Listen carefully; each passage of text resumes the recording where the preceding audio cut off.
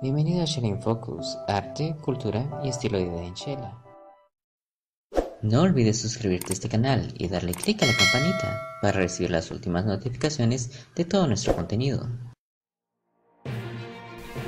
Pero amigos y medios de Shela Focus, yo soy Pablo Herrera y con la noticia del día y es que Shela UMC estrena nuevo entrenador es que tras la salida de Tono Morales por malos resultados con el cuadro lanudo, el nuevo entrenador de Xelajú MC es el mexicano Irving Rubirosa y será asistido por Luis Alberto Padilla.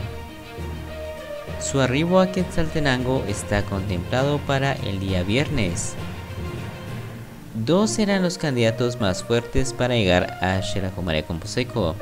Al final, Rubirosa le ganó el pulso a David Patiño, entrenador mexicano que también tenía opciones claras para venir a dirigir a los Superchivos.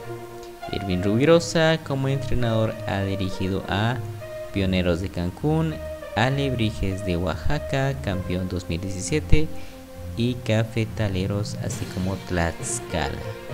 ¿Qué te parece esta nueva contratación? Si te gustó el video, denle like, comparte. Yo soy Pablo Herrera y nos vemos en la próxima.